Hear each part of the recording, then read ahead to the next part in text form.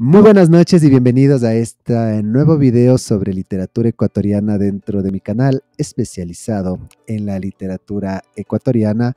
Y aunque últimamente hemos estado brindando algunas recomendaciones sobre escritura literaria, de la cual seguiremos hablando en otros videos durante otras semanas, creo yo que ha llegado el momento de hablar de una de las obras literarias más emblemáticas de nuestro país y que es nada más ni nada menos que la obra de los Sangurimas de el señor José de la Cuadra, una obra harto conocida dentro de nuestra literatura ecuatoriana y es una obra que yo les invito a que la lean. Recuerden ustedes que nuestro trabajo en el canal de Adrián Flores, escritor, es simplemente dar a conocer la literatura ecuatoriana, pero de una manera introductoria. No quiero que se, que se piense que con solamente ver un video de los que yo publico aquí, ya estamos abarcando la totalidad de la obra. Esto simplemente es una especie de introducción o una especie de conclusión. Veámoslo como, como ustedes deseen, es decir, al joven estudiante que viene a ver el video, yo le voy a dar el resumen el día de hoy, le voy a hacer un pequeño análisis, pero entiéndase bien que este video simplemente es una especie de um, colofón o digamos un añadido de lo que ustedes deberían hacer en sus estudios, en sus ensayos, en sus, en sus deberes, que es analizar y profundizar mucho más en la obra. Entonces, el día de hoy vamos a hablar de Los Sangurimas, que es una de las obras emblemáticas dentro de nuestra literatura ecuatoriana, escrita por el señor José de la Cuadra. Así que vamos a comenzar. Muy bien, el señor José de la Cuadra eh, que nació en Guayaquil en el año de 1903 y que murió súper, súper joven en el año de 1941, fue uno de los considerado por muchos críticos del mejor cuentista de la primera mitad del siglo XX. Habría que analizar muy bien esa información. Bueno, la pongo así porque en algunos estudios está postulado José de la Cuadra de esa manera. Ya nosotros habíamos hecho algunos estudios sobre la obra narrativa de Pablo Palacio, habría que comparar o simplemente habría que cambiar esa palabra mejor por simplemente uno de los mejores cuentistas que ha tenido nuestra literatura ecuatoriana en la primera década del siglo XX para no desdeñar a otros grandes escritores como en el caso de Pablo Palacio, del cual ya hablamos hace unos videos nomás anteriormente. Ahora, de José de la Cuadra no vamos a hacer una extensa reseña biográfica. Decir sí, lo más importante que nosotros ya conocemos, formó parte del grupo de Guayaquil. A su muerte en 1941, el autor de Nuestro Pan, Enrique Gil Gilbert, había declarado éramos cinco como un puño. Spoiler, esa es la razón por la cual al grupo de Guayaquil se lo conoce como los cinco como un puño. Eso también es un, habría que revisar un poco la información porque nosotros sabemos que, digamos, el maestro de todo el grupo de Guayaquil era considerado Joaquín Gallegos Lara, del cual te voy a dejar acá arriba un video sobre las cruces sobre el agua, de lo que lo habíamos hablado. Y lo que pasa con José, eh, perdón, con Gallegos Lara es que él había atraído dentro de su guardilla a muchos otros escritores. Es decir, que el grupo de Guayaquil no eran solamente los cinco. Estos cinco eran los más unidos, pero hubo muchos más. Por ejemplo, Pedro Jorge Vera, en una de sus grandes obras, una de las mejores obras de literatura del realismo social que yo he leído, que es Los animales puro, también forma parte de este grupo. Eh, muchos autores de la época también pertenecieron a este movimiento del realismo social. Sin embargo, sí que es cierto que dentro del canon literario se le toma a José de la Cuadra como parte del grupo de Guayaquil o de los cinco como un puño. ¿Cuáles fueron los, de, los, perdón, ¿cuáles fueron los cinco autores del grupo de Guayaquil? Acá arriba te dejo igual un video donde ya hablé extensamente hace mucho tiempo sobre esta cuestión, pero sabemos que son eh, Demetrio Aguilera Malta, José de la Cuadra obviamente, Gallegos Lara, eh, Alfredo Pareja Díaz Canseco, y se me va, se me va, se me va, se me va. Y Enrique Gil Gilbert, disculpen por ese dislate. Bueno, ahora, ¿qué es lo que pasa con José de la Cuadra? Habíamos dicho que es uno de los mejores cuentistas que tuvo el Ecuador a inicios del siglo XX. Y este personaje publica su novela Los Sangurimas en el año de 1934.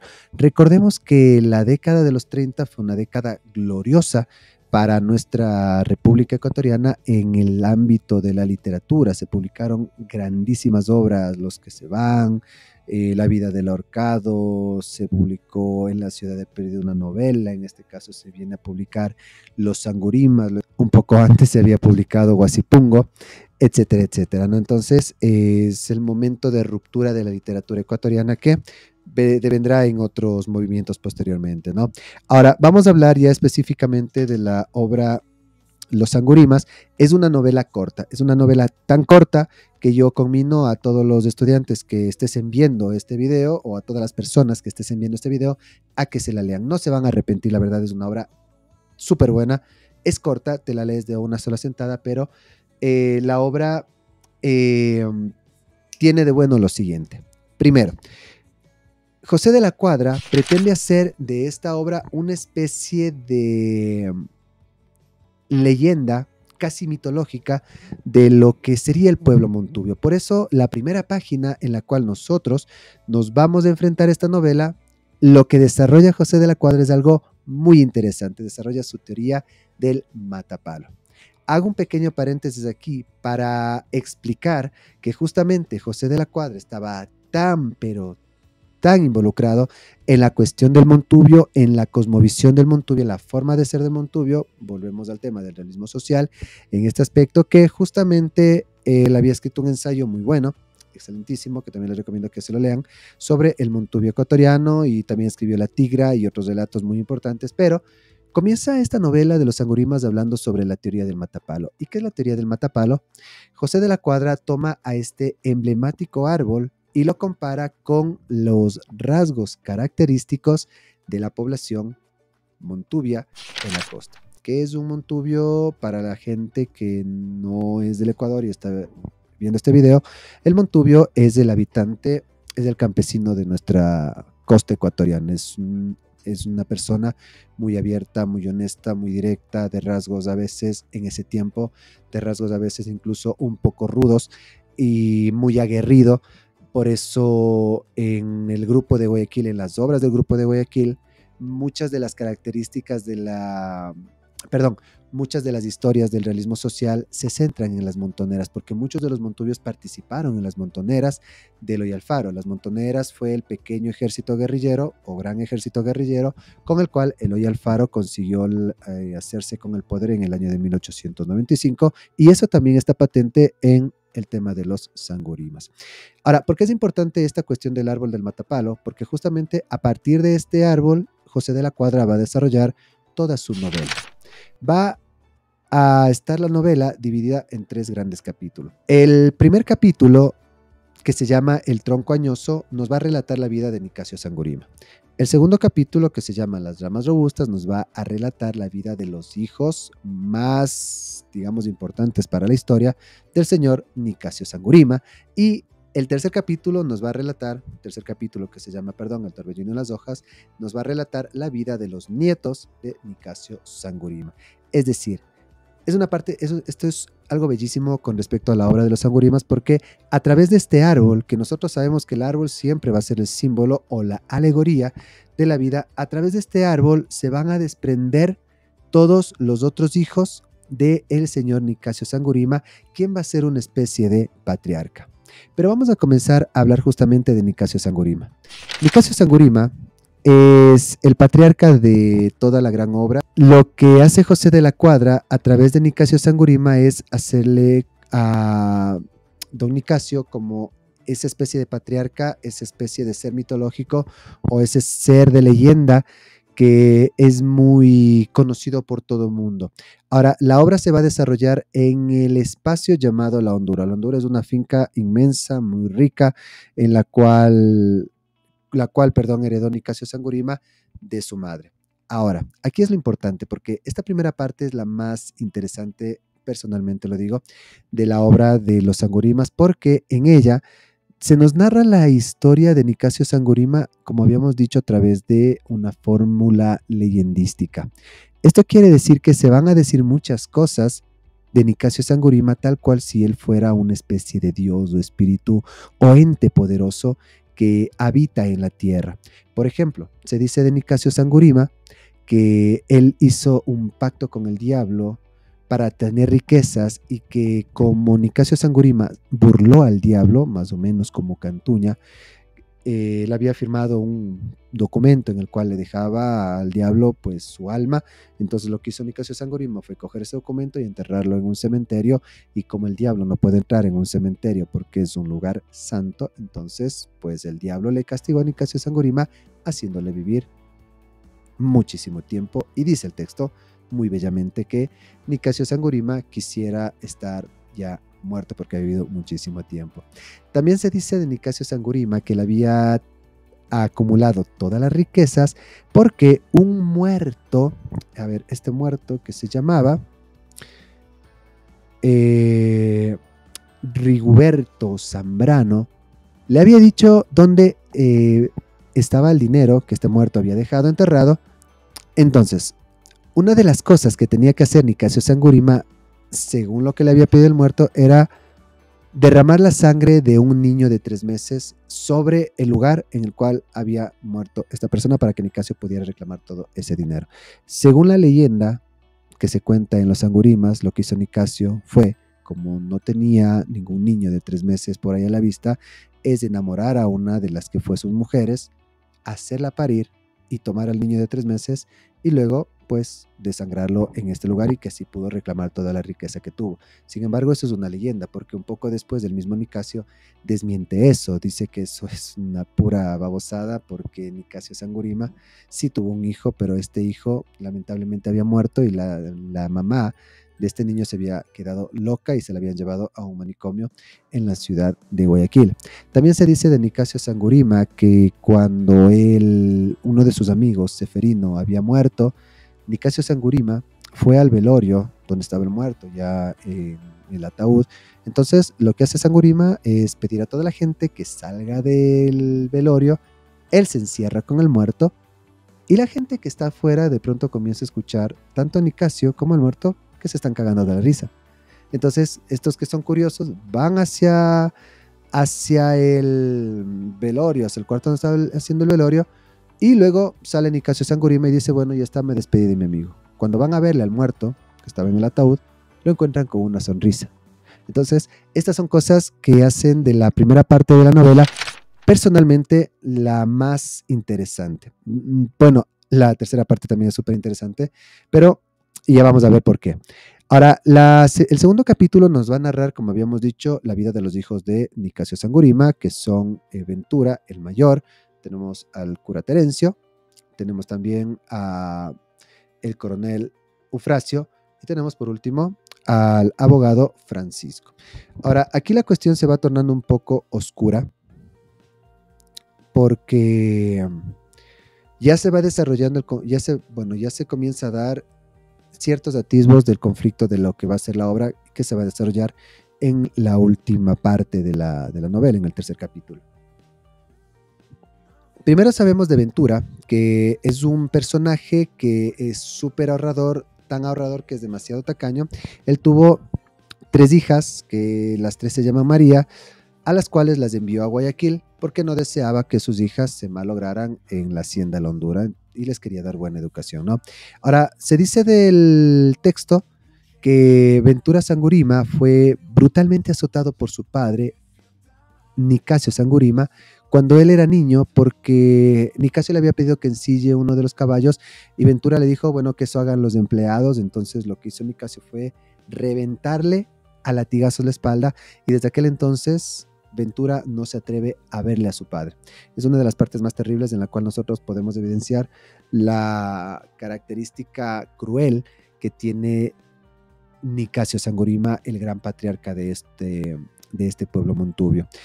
Luego nos dice el texto que Ventura, pese a ser tan ahorrativo, con la única persona con la que se gastaba la plata era con su hermano, el cura Terencio. Y pasamos entonces al cura Terencio, que es un cura muy interesante, el sabedor de que las gentes del campo costeño de aquel entonces eran muy ignorantes y él tenía que hacerles llegar el mensaje de Dios. Él tiene la filosofía de que no les puede hacer llegar el mensaje de Dios tal cual está en la Biblia, entonces les traduce a su modo como está la palabra del Señor. Este cura, como decíamos, es un poco vicioso. Se supone que vive con una, con una chica que no se sabe si es que es o no es la mujer de él. El otro personaje que es muy importante, es el señor Eufrasio Sangurima, el coronel.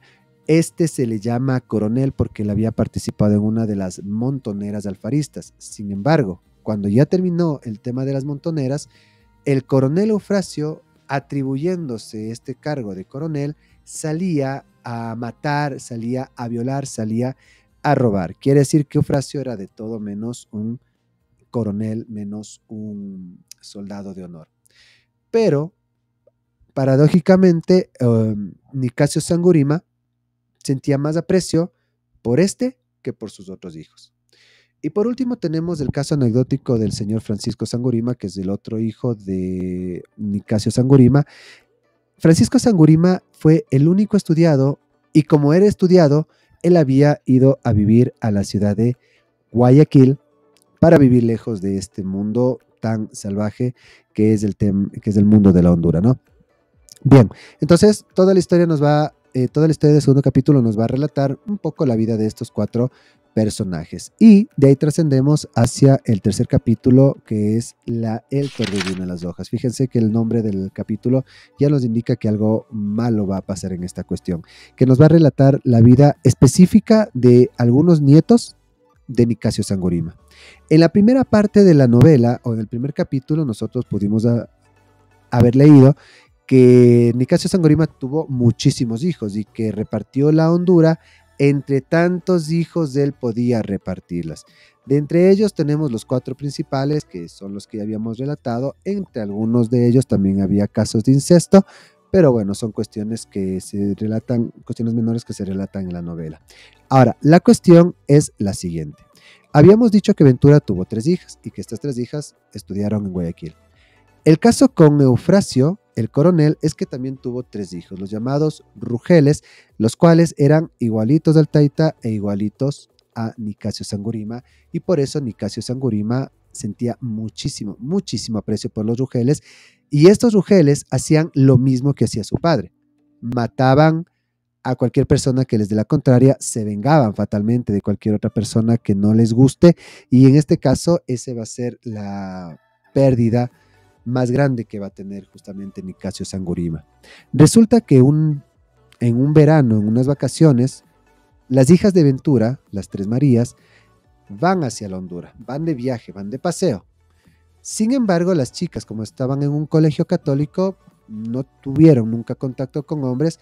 Al llegar a la Honduras, hacen una fiesta, les conocen a los rugeles, los rugeles se enamoran de estas tres chicas y les piden tener relaciones sexuales. Sin embargo, las chicas les dicen, como animales, no, primero nos vamos a casar. Así que los rugeles, que se habían enamorado por primera vez, van donde Ventura, le dicen, oiga tío, queremos casarnos con sus hijas. Y el caso es que Ventura ya sabía que decirles no a sus sobrinos era una sentencia de muerte o algo malo podía pasarles a sus hijas. Así que Ventura como que medio quiere sacárselas, les dice a los rugeles, eh, bueno, saben que no les voy a dar ahorita la mano de mis hijas, primero quiero que terminen el colegio, cuando ya terminen el colegio, pues ahí estamos hablando. Los rugeles no lo tomaron bien y le dijeron al tío, pues sabes que te vas a joder con nosotros. Entonces, ¿qué es, lo, ¿qué es lo que pasa aquí? Aquí la cuestión es muy interesante porque una de las hijas de Ventura Sangurima. A ver, voy a nombrar a las hijas. Son María Victoria, María Mercedes y María Julia. Victoria, Mercedes y Julia. Y en el caso de los Rugeles, son este, Facundo, Pedro y Manuel. Lo que pasa con estos Rugeles es que ellos habían prometido vengarse de, de Ventura, así que van a la casa de Ventura de noche mientras él no estaba y le tratan de convencer a las hijas de que se vayan de viaje, que ellos los van a, les van a llevar y las van a hacer felices. Eh, dos de ellas les dicen, no, no vamos a desobedecer a nuestro padre. Sin embargo, María Victoria sí se fue con ellos, se fue con Facundo, se la llevan.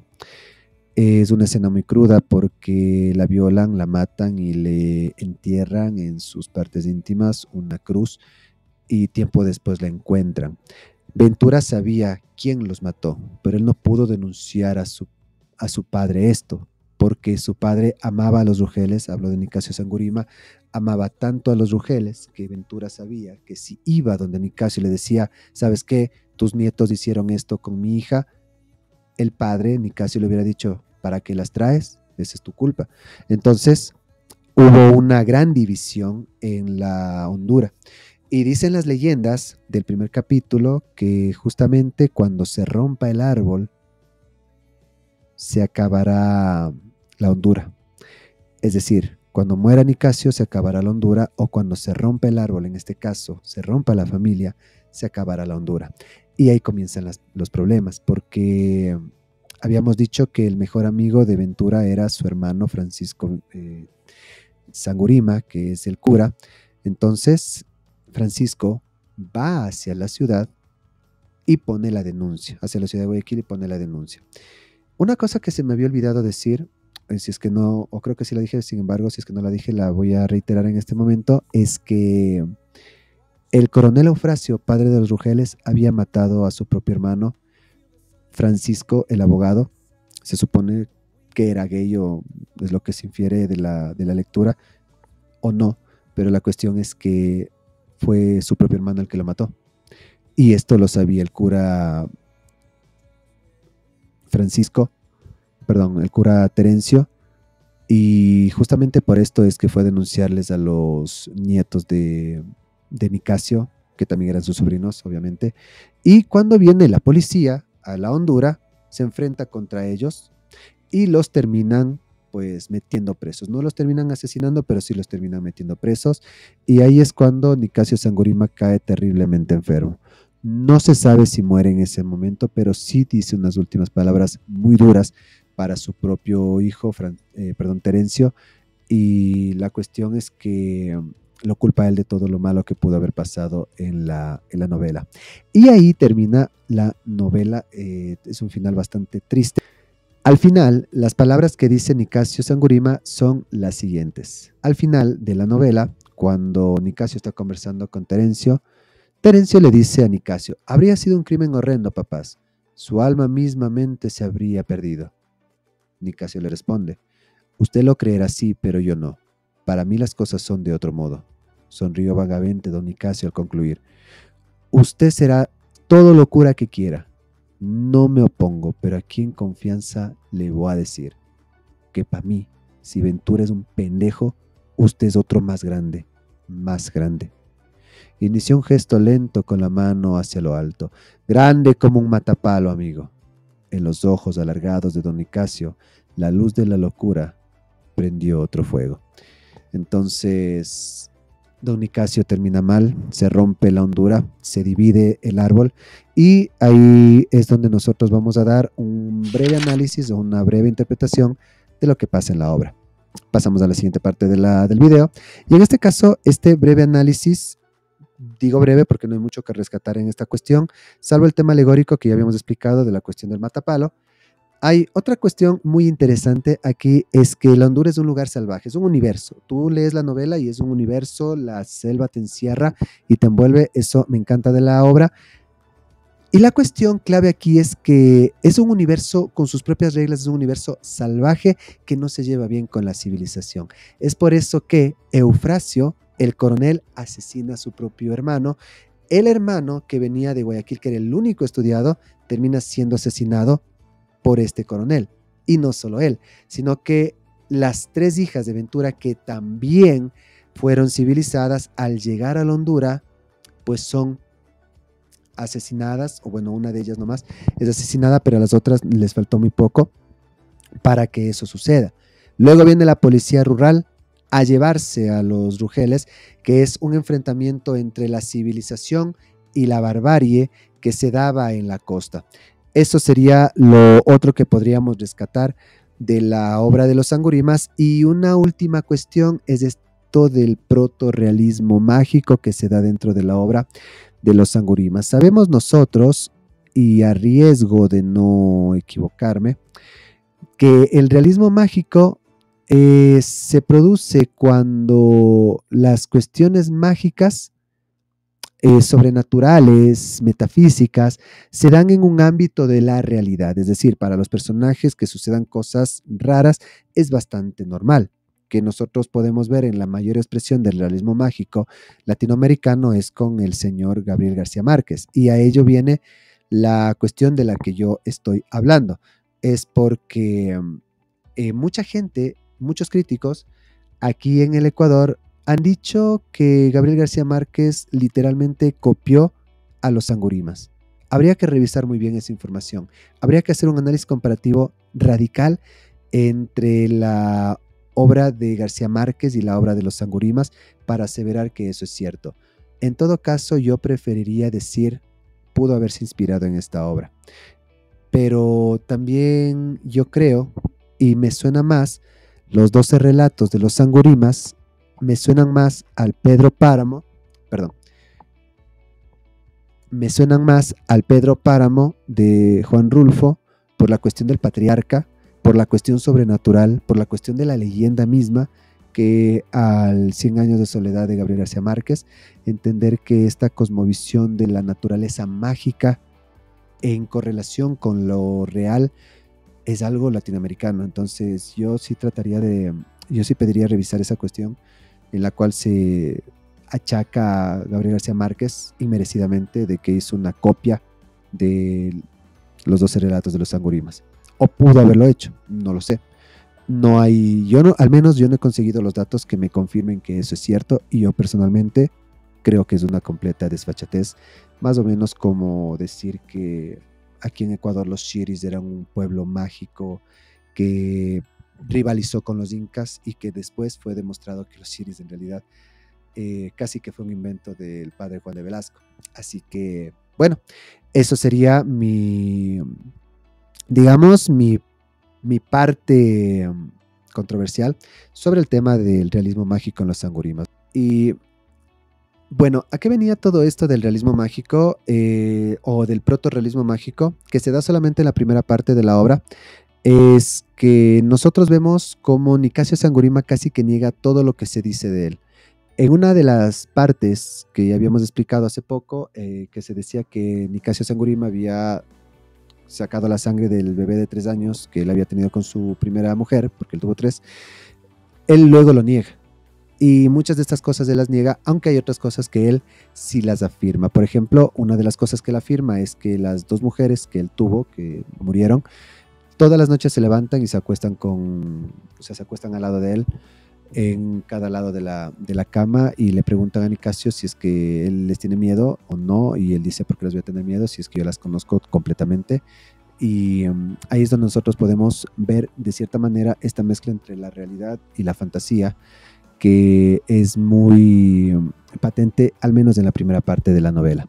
Bien, creo que con eso estaría concluyendo este pequeño video sobre los sangurimas. Espero haber hecho un buen análisis sobre esto, si es que hay algo que se me saltó o si es que hay algo que ustedes puedan aportar con respecto de los sangurimas, pues les invito a que lo comenten y lo dejen ahí abajo en la cajita de descripciones. Sin más, me despido. Les agradezco muchísimo ayúdenme suscribiéndose y hasta la próxima, hasta el próximo video. Chao, chao. Nos vemos.